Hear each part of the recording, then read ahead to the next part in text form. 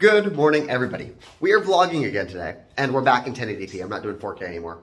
But I want to try something. What I'm filming on right now is actually a flagship phone from like back in 2019. This is the Note 10. This is a really expensive camera. It's got three cameras on the back. It's got the front-facing camera. But what I want to know is, is that necessary? Can I use a $50 Motorola phone to vlog on and still get like interesting content? So we're going to switch over now. This is what the front-facing camera on a $50 Motorola phone looks like. How does the audio sound? How does it look? Uh, I'm assuming not that great. But the thing that I'm most worried about isn't the front-facing camera. It's the back cameras because I use these all the time. I use the wide-angle one when I'm walking so you can see around me. I zoom in when I'm trying to like look at a sign.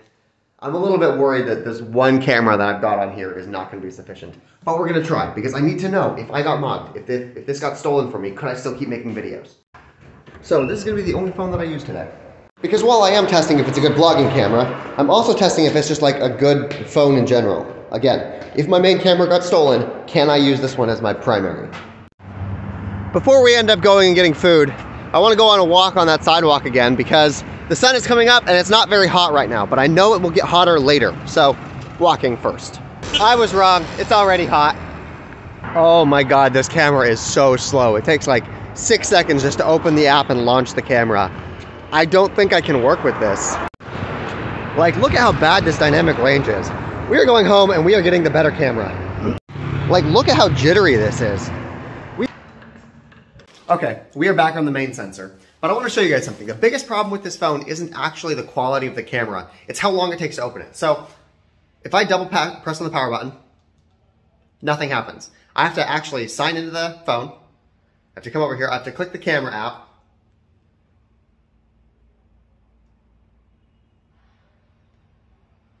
Look at how long that took to start up. Whereas with this phone, I can just double tap the power button and have this open in like half of a second. And that is super important because a lot of the things that I do, they're really quick shots. Like I just go up there and I'll, I need to film really quickly. So that cannot work for this kind of vlogging setup. Anyway, let's go get some food. See, another thing is that I have like three different lenses here. So I can go normal lens, I can zoom out, or I can zoom in. And all of them are super seamless. You can't do this on the other phone. One of the things that you guys will learn about me is that I am really consistent with my food. Like, I'm adventurous in life. I am not adventurous with food. So once I find something that I like, I stick with it basically forever. I got that whole pizza for less than a dollar because I decided not to get the beef on it. So we're gonna be sticking with tomatoes on that pizza from now on. Less than a dollar, damn. We're gonna take our extra savings and we're gonna pump them right into Diet Pepsi. Okay, we got the Pepsi, now we've gotta go film some stuff.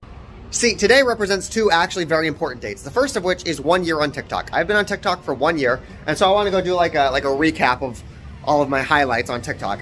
And today is also one month that I've been monetized on YouTube. So I need to film a video showing like how much I've made, what my price per thousand views is. So I've actually got a couple videos to go film. Let's go do that. And for these, I'm going to use my fancy camera because I'm able to just sit here at my desk. It's not going to be shaking. I'm not going to be like moving it around as I walk. So this is the perfect camera for that kind of footage.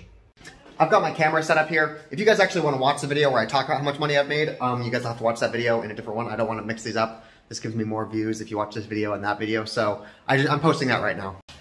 Okay, one video is done. Let's go get some food. Got my key. Yes, good shit. But first we are going to go on another walk around the thing for a couple miles just because it's cooler now and I like walking around it. I really do like this place. We are going back to the pastry place. Dinner today was $2, almost exactly, like almost exactly $2. Let me show you what we got. We got two more chocolate croissants and then two more chocolate donuts. This whole thing, $2. This is insane. Pastries are fantastic.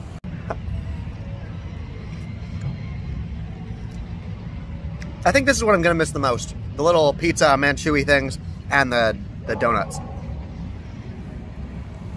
And the apartment. I really like the apartment. I'm gonna miss that too. But right now, I want to shop around for better Pepsi prices. The guy next to my apartment raised his prices because of inflation, but I'm not sure if other places have. And before you guys give me shit for eating croissants for dinner, just remember, I've walked like five miles today. I can eat what I want. It's honestly surprising to me how many places sell fresh fruit. And that's like all that they do. There's like little farmer's markets. Except I'm not looking for fruit, so that's not helpful to me. Oh, but here we go. I picked up some Diet Pepsi. I picked up a couple bags of these chips because these little Doritos knockoffs are fantastic. And the big bags are really rare. They usually try to sell small bags. So I got a couple bags of these big ones for the next couple days. I got some sour worms. Um, sour food is incredibly rare in this part of the world, I find. So I want to try as many of the different types of sour candy that they have as I can. And I also got uh, some gum. Can we have a conversation for a second? I was just about to post today's video, but I canceled the export because I wanted to film this. I'm going to take this footage, I'm going to throw it in the video right there. But I posted a video earlier today showing how much money I make on YouTube in the first month of being monetized. And I got a couple comments from people criticizing that, that they don't like it when I talk about the money because it takes them out of the experience. They don't want to think that I'm doing this because I'm just trying to get paid and I'm just trying to get a paycheck. I'm going to break any illusions you guys have.